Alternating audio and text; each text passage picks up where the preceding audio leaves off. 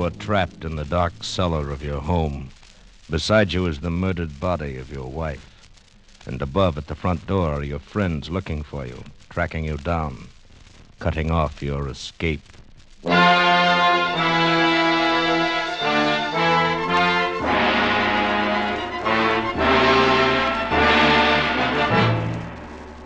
Escape, produced and directed by William N. Robson, and carefully contrived to free you from the four walls of today for a half hour of high adventure.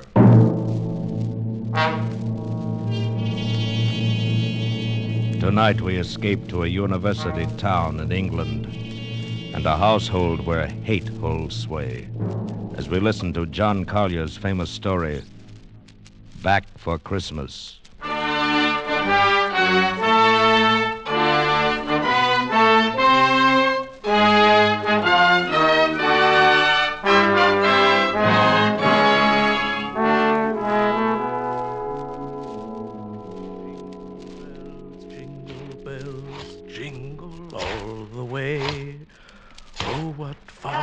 Fun it is. Eh, yes, my dear.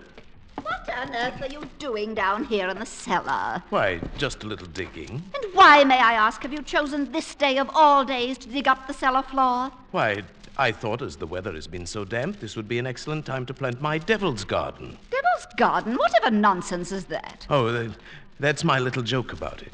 You see, I've managed to secure some of the spores of several unclassified wild orchids. In their natural state, they bloom under damp masses of leaf mold.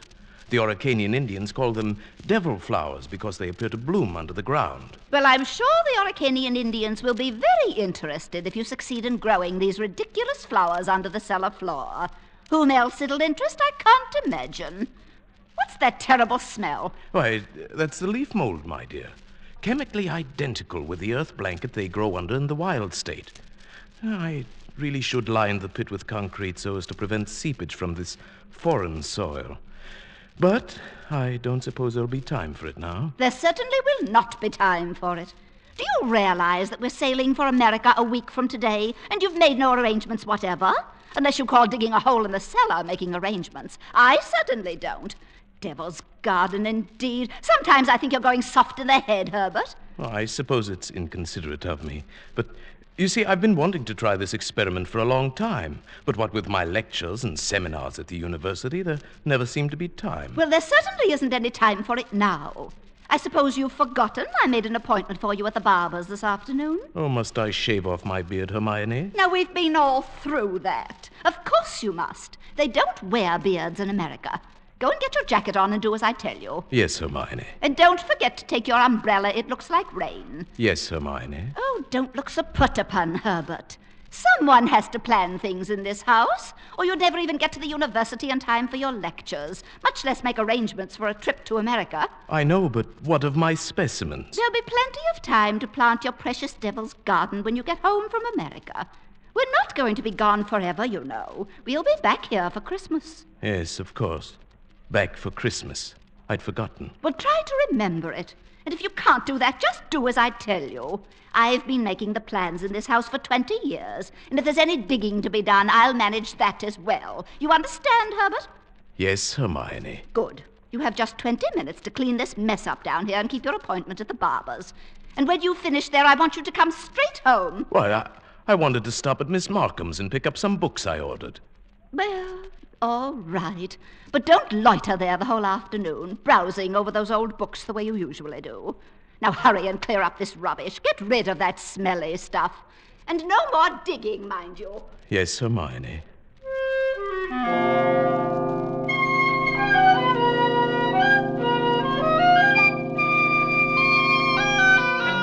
Yes, Hermione. How many years have I been saying that? Ten years? Fifteen? Twenty? Clear up the rubbish. Yes, Hermione. Don't forget your umbrella. Yes, Hermione. Do this, do that. Yes, Hermione. Yes, yes, yes. How much longer can I stand this?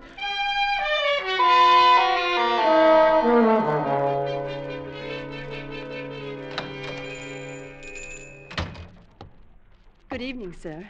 Good evening, Miss Markham. Why, it's Professor Carpenter, isn't it? You didn't recognize me. Oh, you look ever so much younger without the beard. Twenty years at least. Twenty years. Oh, You'll be glad to know those books you ordered have finally arrived. Hmm? Books? Phytotomy of phalloid gametophytes and coniferous shrubs of North America. Those are the ones you ordered, aren't they? Oh, yes, yes. Thank you. You're very kind, Miss Markham. Why kind, Professor Carpenter? Well, not many young ladies in bookshops would go out of their way to look up rare books for an old professor of botany. Oh, why, you're not old, Professor Carpenter. Really, you look. Oh, and besides, I adore botany. It's my particular hobby. Oh, really? Well, you- never told me that before, Miss Markham. Oh, I was afraid to. You were so. Oh, so imposing with a beard and all. Well, I. You might be interested in some specimens of alpine polyanthes that were sent to me by a friend in Switzerland. Switzerland. I used to go there for my holidays before the war. You like Switzerland? Oh, I love every part of it. The lakes, the mountains, the beautiful spring flowers. Oh, especially the flowers. Oh, yes. It, seems we have quite a lot in common, Miss Markham. I'm. I'm sorry we haven't talked before. Oh, I am too. it is all the fault of the beard, I suppose. Miss Markham, forgive me if this sounds foolish, but I feel that shaving off my beard is the most important thing I've done for 20 years. oh, it is. I'm sure it is. I'm ashamed that I've been so distant with you all the time. Oh, there were times when I almost spoke up. Times when you came in here, tired after day with your students at the university. Oh, you seemed so alone. The way I'm alone in the world. I'd like to have asked you to stay a while and talk with me. But some way or other, I, I wound up giving you your change and letting you go on your way. You. You say you're all alone in the world? Since my father died, Well, did you never think of marrying? My father was a very remarkable man. I never found anyone who, who seemed to measure up to what he led me to expect of men. And then the war came. Miss and- Markham, Oh, I. it, it's been so long since anyone called me by my first name. I'd like you to, if you don't mind. It's Marion. Marion. And yours? Uh, Herbert. How long have you been alone, Herbert? Uh, alone? Oh, I knew you were a widower, of course, the first time I saw you. A widower? Oh, I can always tell. There's a certain sadness in a man's eyes. A sweet sadness, I think, when he's been married and then. A widower?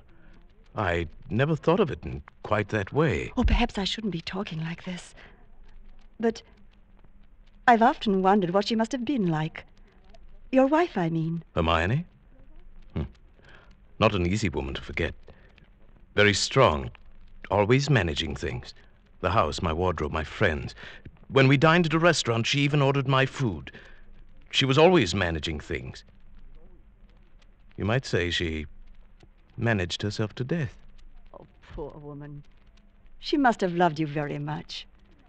But she needn't have put herself out so. It's plain to see you don't need things managed for you. You need companionship, I think. Someone sympathetic with your work. but the last thing on earth you need is a manager. How well you put it. The last thing on earth.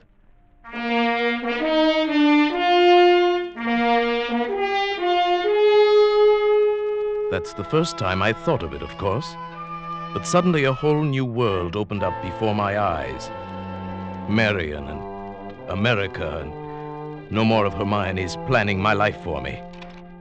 By the time I got home, my mind was working overtime. Well, at last. You certainly took long enough about it. What are you looking so pleased about? I don't really know. Getting rid of the beard, perhaps. I feel 20 years younger. You look even smaller. Your face looks triangular or something. I'd forgotten your chin was so weak. Oh, but never mind that. You can grow it back soon enough after Christmas. Where are you going? Down to the cellar. I just bought this electric lantern and I thought I'd put it away down there. Now, whatever possessed you to buy a thing like that? I don't know. I rather like this lantern. Might come in handy. Who knows? Now, Herbert, don't start digging down there again. I've a hundred things to do putting the house in order before we leave. I want you to carry these boxes upstairs for me. Yes, Hermione. And if you're going down to the cellar, take this along and stuff it into the furnace. But this is my old bathrobe. I may need it. Oh, nonsense. I've bought you a new one. Get rid of it. And don't start puttering down there with that devil's garden or whatever you call it. I'm through digging, my dear. I think the pit is quite deep enough now for my devil's garden.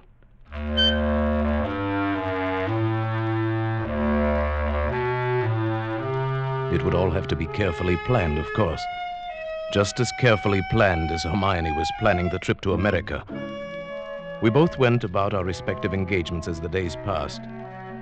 I spent all the time I could with Marion, and finally she consented. And then it was the last day, the big day, the day we were to sail for America. Operator! Operator, are you there? I'm still waiting on that call to Salisbury.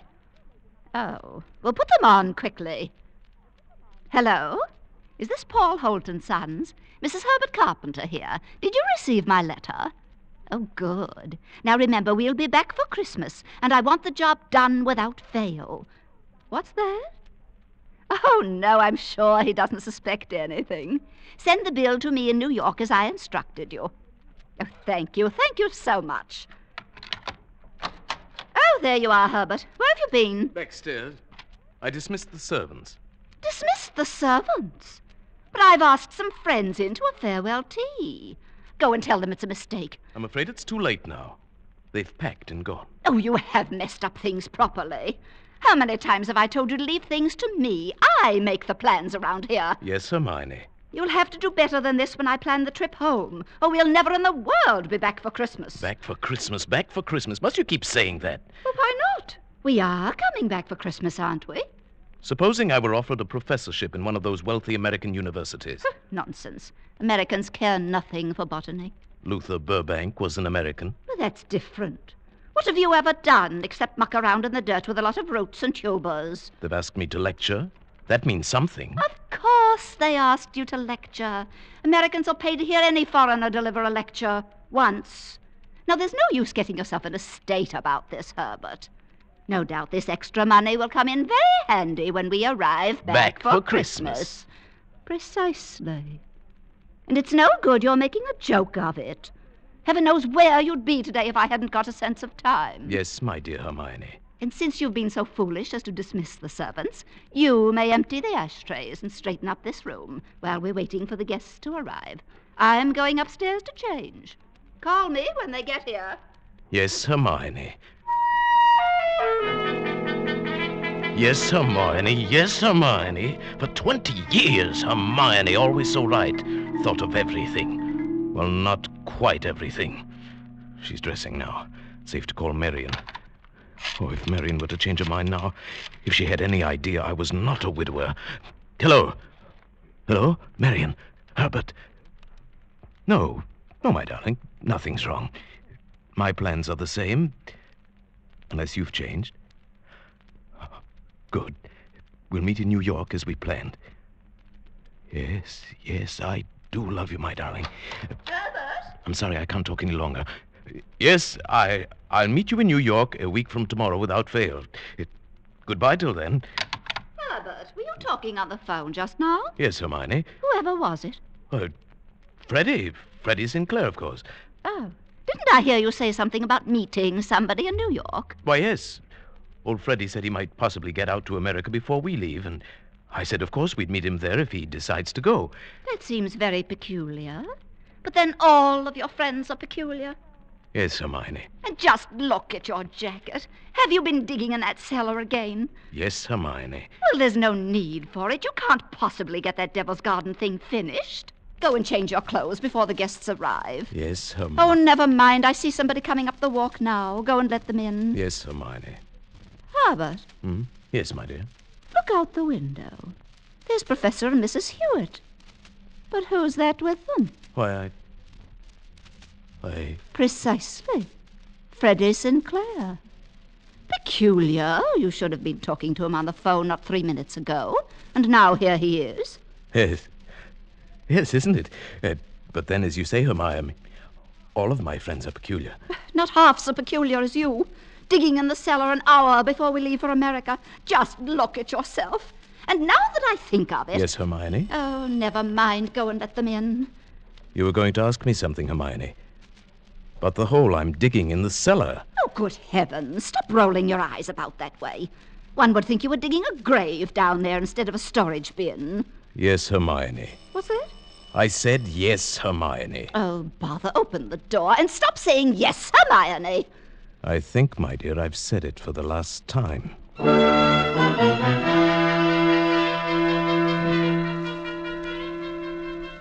Back for Christmas. Hermione was so positive we would be back for Christmas. That last afternoon, pouring tea for a few friends who had come in to say last minute farewells, she kept reiterating. Oh, I promise you, Mrs. Hewitt. Remember, we absolutely must have you with us for Christmas. Oh, we'll be back. It's not absolutely certain, of course. Oh, Herbert, what do you mean it's not certain? Of course it's certain. After all, Herbert, old boy, you've contracted to lecture for only three months. Quite right, but then, of course, anything may happen. oh, Herbert adores being unpredictable. Now, what other man would dig a great hole in the cellar on the very day he was leaving for America? A hole in the cellar? Yes. He's going to put some unclassified wild orchids down there. A devil's garden, if you please. Sounds mysterious. That's Herbert, though he's really quite simple once you find out what he's up to. Now, take that telephone call he put through to you a few moments before you arrived, Freddie. Uh, T- to me? Yes, Herbert wanted to surprise me about your plan to meet us in New York next month. That's why he called, of course, to ask you not to mention it. But, my dear Hermione, Herbert couldn't possibly have telephoned me within the past hour. I've been walking in the park since three. He didn't telephone you. Well, how could he? And as for my going to Oh, America. now, come, come, Freddie. You may as well own up. Hermione has found me out again. But, Herbert, old chap, I, I really don't understand. There. You see what a poor liar Herbert makes. He's red as a beetroot. Aren't you ashamed of yourself, Professor, stringing poor Hermione along like that? And as for you, Freddie, I'm furious you said nothing to us about going to America. But look here, old girl, I've been trying to tell everyone that I have Oh, no... in- stuff and nonsense. The game's gone on long enough. Perhaps Herbert's merely planning a surprise for me. Yes, let's leave it at that, my dear. We must start getting ready. It was marvelous of you to come in to say goodbye. And don't worry about Herbert's little jokes. I will bring him back for Christmas. You may rely on it.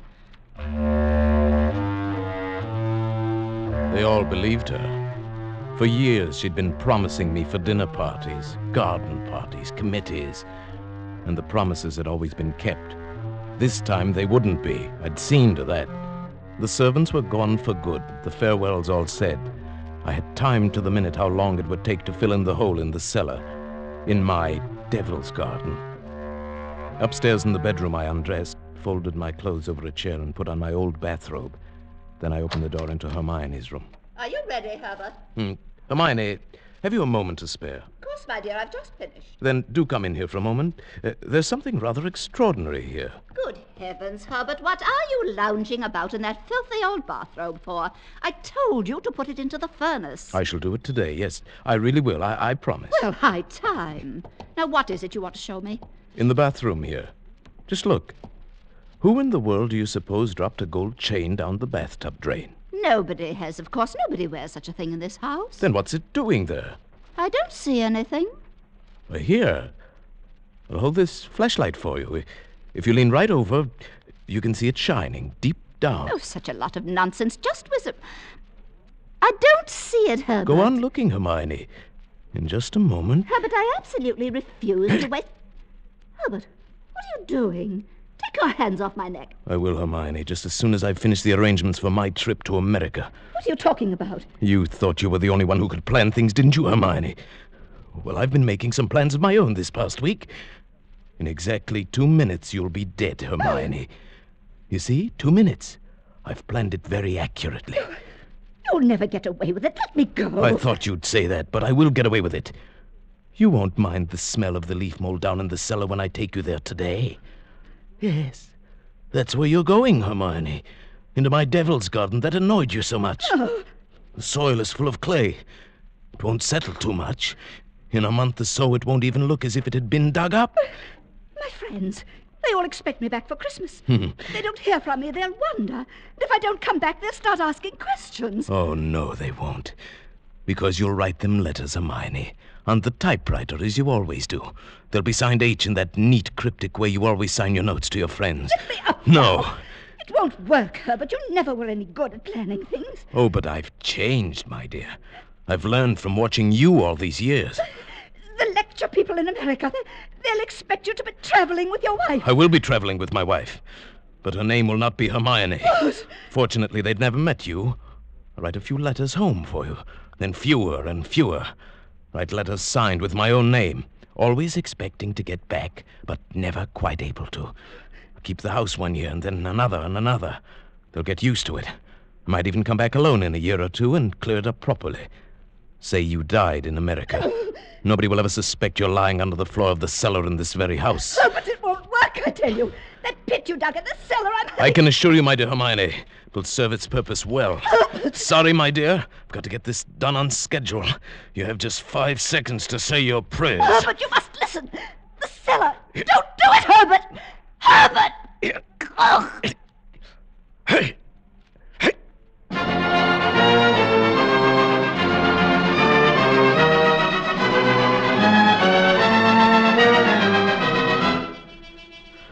cut off at the main as I knew she would order it. She was so thorough, but so was I. Strangulation. Nothing to wash up.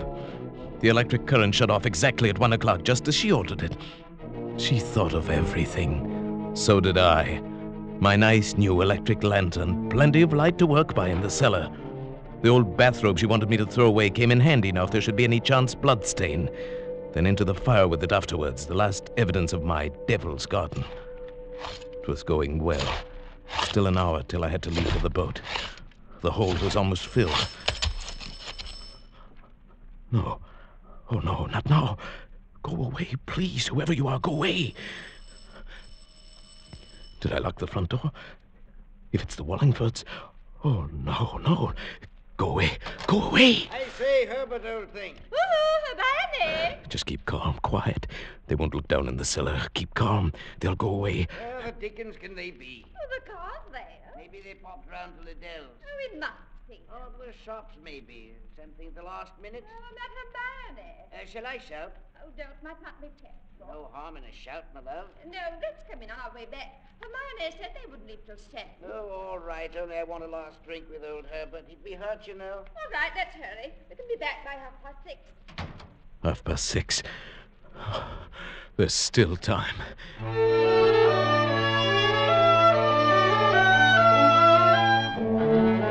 After that, it was easy.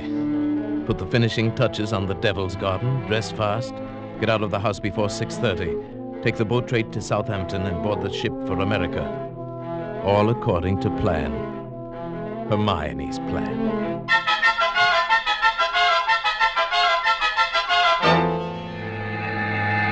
Oh, uh, I say, steward. Right, sir. Uh, my wife is indisposed. She'll be taking her meals in our stateroom. Oh, for, for, for the old voyage? Yes, for the whole voyage.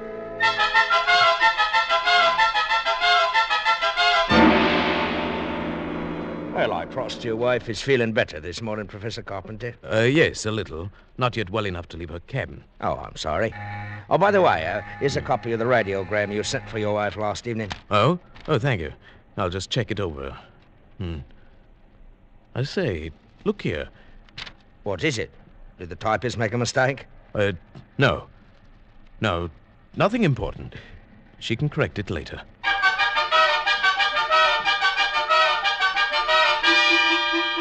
For a moment, I had the feeling that Hermione had been leaning over my shoulder again, correcting what I'd written, as she always did.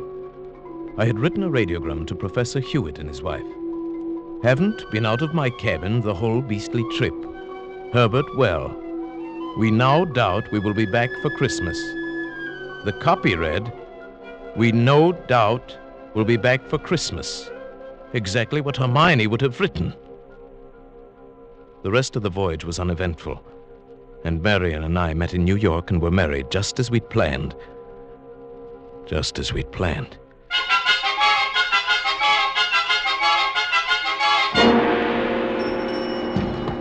Professor and Mrs. Carpenter. We we have reservations, I believe. Oh, yes, we've been expecting you, sir. Boy, take Professor and Mrs. Carpenter's luggage up to their suite. You know, Mrs. Carpenter, you're quite a surprise. Your letter reserving the rooms was so uh, thorough. I was expecting an older, more forbidding sort of person, frankly, ma'am. Oh, no. As a matter of fact, we're just married. But my letter reserving the room. Uh, I wrote the letter, my dear, and signed it Mrs. Herbert Carpenter. Purely a joke. Oh, what a cunning old fox you are, Herbert.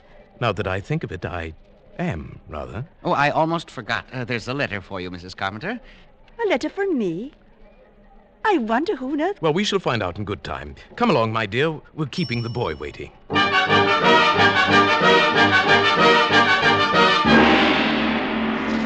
Dum dum dum dum ba-dum pum pum ba-dum rum pum pum ba-dum pum. Nothing like a cold, brisk shower to put a man to rights. Herbert, this letter. Oh, yes, the letter. Uh, dry my hair, will you, dear? It seems to be a bill of some sort from a building contract in Salisbury. Mm. oh, bother. Dry your own hair. Oh, thank you, my sweet. Uh, let's see this bill or whatever it is. It's very puzzling.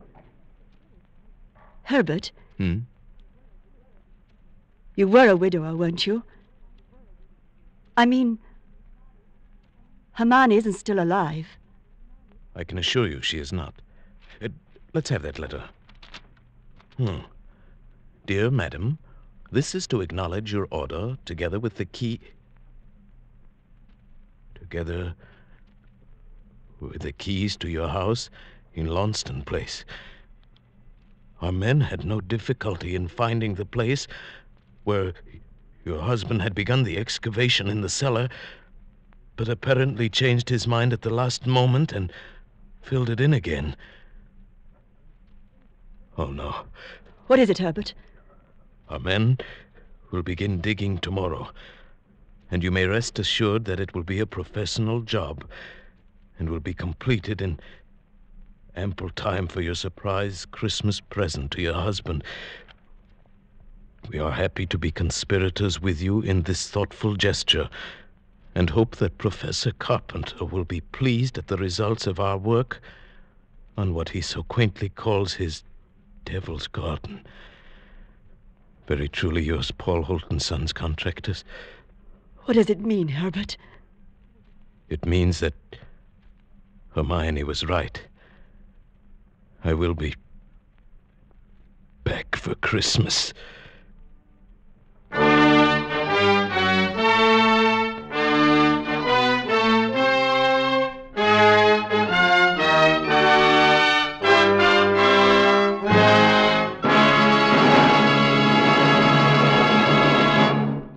Escape is produced and directed by William N. Robson, and tonight brought you Back for Christmas by John Collier. Adapted for radio by Robert Tallman, with Paul Frees as Herbert, Eleanor Audley as Hermione, and Marta Mitrovich as Marion. Music is conceived and conducted by Cy Feuer. Next week, You were lost in a London fog, exhausted and frantic, unsure if the figures looming around you are real or creatures of your fear. And behind you, pursuing you, intent on killing you, lurks a murderer from whom you must escape.